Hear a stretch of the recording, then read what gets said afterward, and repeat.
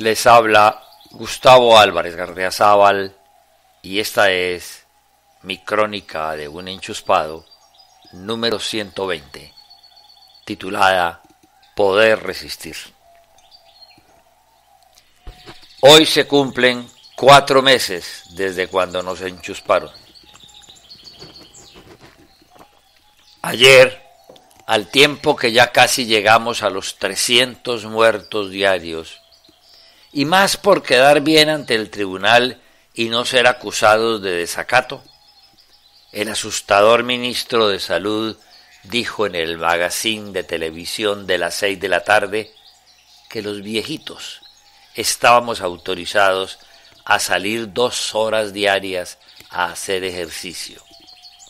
Y como si nada, a ser igualados en el trato a los demás colombianos sometidos desde el pasado día 15 a la enésima prolongación de la cuarentena.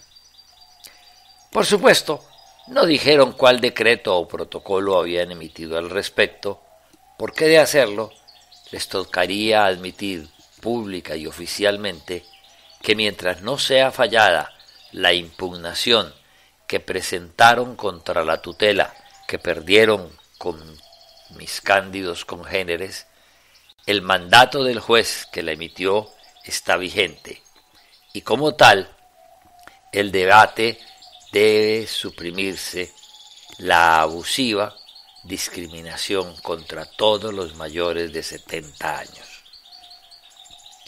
Entre tanto, y leyendo sobre las líneas, actuemos con libertad adoptando las medidas y el régimen que nuestra edad, nuestra salud y nuestra experiencia nos permiten escoger como las más convenientes.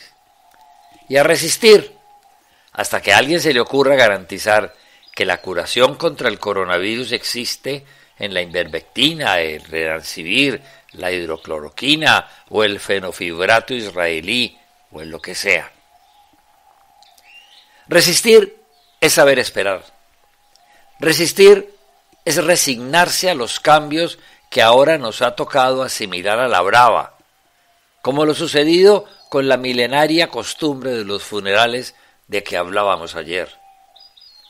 Resistir es adaptarse a entender todo lo que nos está cambiando y lo que puede uno desde ya imaginarse que va a modificarse.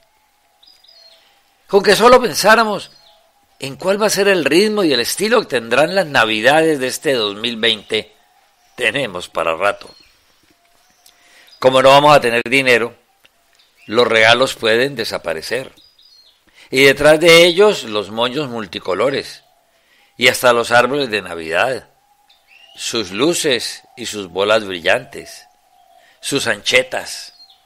De pronto renacerán los pesebres pero sin el tumulto ni la esperanza de las novenas.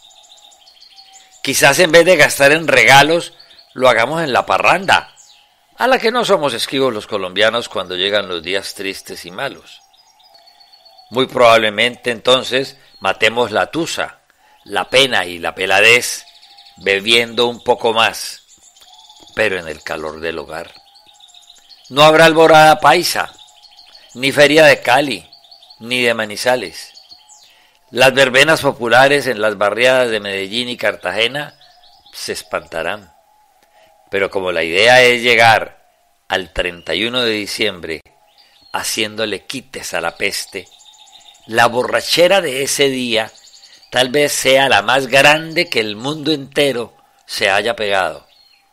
Especulemos sobre en cuál país o continente se beberá más ese día. Y como ya ni llorar nos dejan, al menos digamos que resistimos. Muchas gracias.